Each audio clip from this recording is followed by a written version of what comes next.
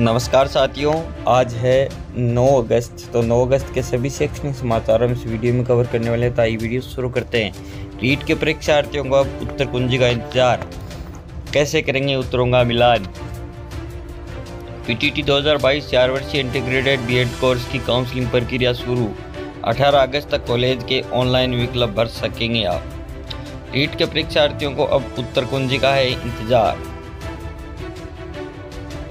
आदेशों की प्रतीक्षा में रखे गए टीचर्स को मिलेगा पदस्थापन महात्मा गांधी राजकीय विद्यालय। उदयपुर ज़िले में 20 से ज़्यादा के तबादले शिक्षा विभाग ने संभाग में भी कई प्रिंसिपल वो बदले। देश भर के दिव्यांगों के लिए अब खुलेगी शिक्षा की राहें। अब स्कूल में मिलेगी विशेष शिक्षक की सुविधा।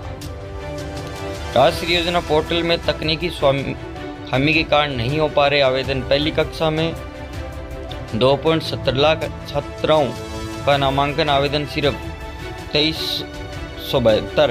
एक एक को भी भुगतान नहीं करना पड़ा इसके बारह को स्कूलों में गुंजेंगे देशभक्ति के तराने। चित्रकूट धाम में जिला स्तरीय समारोह, दस हज़ार बच्चे जुटेंगे।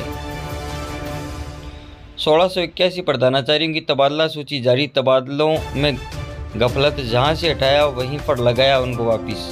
कंप्यूटर अनुदेशक भर्ती का परिणाम जारी हो। पीटीआई भर्ती में फर्जी डिग्रियों की जाँच की जाए, बेरोजगारों ने किया कर्मचारी चयन बोर्ड के कार्यालय पर प्रदर्शन। साल में दूसरी बार हो रही है परीक्षा 18 दिसंबर को क्लेट 13 नवंबर तक फॉर्म फिलिंग होंगे। जनरल के लिए आवेदन शुल्क रुपये चार हज़ार रखा गया इसके लिए। प्रतिबंध हटाने के बाद पहली बार बड़ा फेरबदल। रिक्त पद भरे शिक्षा विभाग सोलह सौ इक्यासी, प्रिंसिपल और 110 जिला शिक्षा अधिकारी बदले गए इसके अंदर। प्रिंसिपल के तबादले से नाराज़ ग्रामीणों ने, ग्रामीणों व छात्रों ने स्कूल गेट पर, है वो ताला लगाया। वरिष्ठ शारीरिक शिक्षा अध्यापक के आवेदन तेरह तक होंगे। एम्स का मेडिकल बोर्ड करे महिला अभ्यर्थी का शारीरिक परीक्षण। हाईकोर्ट ने अधिकारियों को नोटिस जारी कर जवाब तलब है वो किया। जेईमेंस में लगातार गिर रहा है कट ऑफ़ सिर्फ़ जनरल कैटेगरी की कट ऑफ़ एक प्रतिशत बढ़ी।